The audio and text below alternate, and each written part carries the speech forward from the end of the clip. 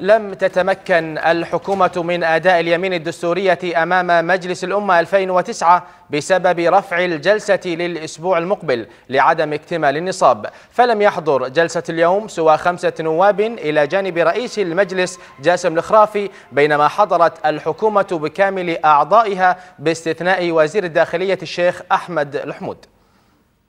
نتيجة لعدم اكتمال النصاب أرفع الجلسة ولن أؤجلها نصف ساعة لعدم إمكانية استكمال النصاب خلال هذه النصف ساعة. وحتى لا أؤخر كل من حرص على الحضور وسأؤجل الجلسة إلى الأسبوع القادم. وإذا ما كان هناك نصاب كما بينت في أكثر من مناسبة سأرفع الأمر لسمو الأمير لاتخاذ ما يراه مناسب. شكرا وترفع الجلسة.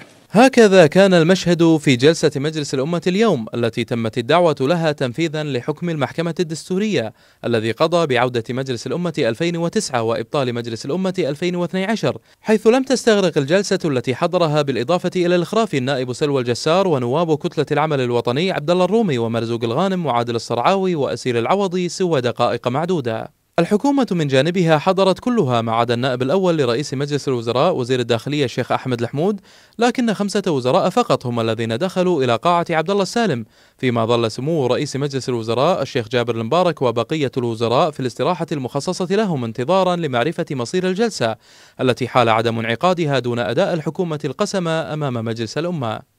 الخرافي أكد أن عدم قسم الحكومة أمام مجلس الأمة لا يعيق عملها التنفيذي الذي يعتبر ساريا لقسمها أمام سمو الأمير وذلك بعد أن قام برفع الجلسة إلى الأسبوع المقبل عقب تأبينه وتأبين الحكومة ممثلة بوزير التخطيط والتنمية وزير الدولة لشؤون مجلس الأمة رولا دشتي للنائب الأسبق جاسم القطامي رحمه الله. ما يتعلق بقسم الحكومة مرتبط بنشاطها داخل المجلس نشاطها التنفيذي لا يتعارض مع قسمها داخل المجلس. لو كان في مجلس لابد من أن تقسم أمامه وإلا ما تستطيع أن تعمل داخل المجلس. مدام أقسمت أمام سمو الأمير فالإجراءات الخاصة في قسمهم والإجراءاتهم التنفيذية سارية. كتلة العمل الوطني التي نالها هجوما كبيرا في مواقع التواصل الاجتماعي لكونها الكتلة السياسية الوحيدة الحاضرة لجلسة اليوم عدا عن النائب صالح الملا. أوضحت أن حضورها الجلسة يهدف إلى الالتزام بحكم المحكمة الدستورية والتزاما بموقفها الذي أعلنته في وقت سابق وحتى لا تثار أي شبهات دستورية خلال الفترة المقبلة. هذا الحكم وفقا النصوص الدستورية من المادة 162 حتى المادة 173 واجب التنفيذ.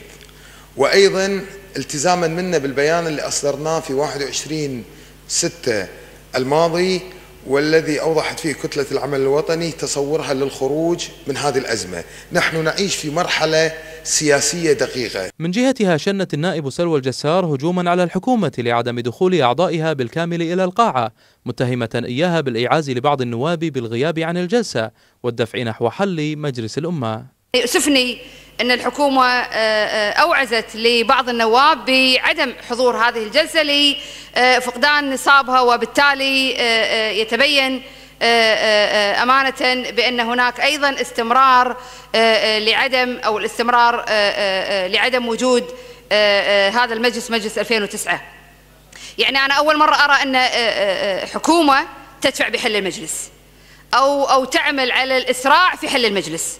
رفض أغلب النواب على اختلاف توجهاتهم السياسية الحضور إلى مجلس الأمة 2009 يؤكد توقعات بأن هذا المجلس قد انتهت صلاحيته واقترب حله نهائيا حسب ما أجمع عليه العديد من النواب أنفسهم إلى جانب عدد كبير من المراقبين السياسيين. الحضور الضئيل الذي شهدته قاعة عبد الله السالم في الجلسة الأولى التي كان يفترض بها استئناف مجلس الأمة 2009 بعد حكم المحكمة الدستورية يرجعه مراقبون إلى الرفض الشعبي العالم لعودة هذا المجلس الذي أسماه الكثيرون بمجلس القبيضة والدعوات الشعبية الواسعة بضرورة حله في أسرع وقت.